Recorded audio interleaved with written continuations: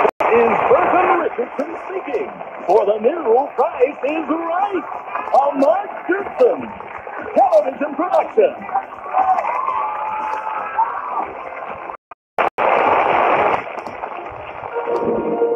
Thank you.